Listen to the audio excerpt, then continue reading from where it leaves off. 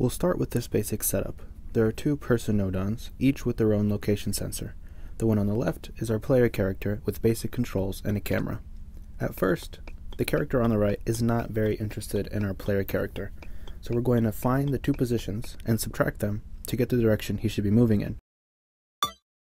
We'll start with two calculate nodons set to subtract, one for the x and one for the z-axis.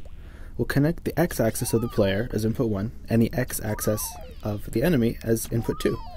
We'll set the result to their left-right movement. Now, he'll follow us left and right.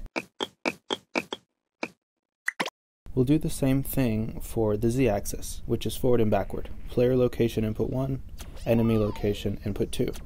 And we'll set that to the forward backward. Now we have an enemy character that will follow us in every direction, but they move a little fast. There are different ways to handle this, but one simple one is to play around with the movement speed and lower it until you're comfortable. Now you have an enemy character that will follow you around.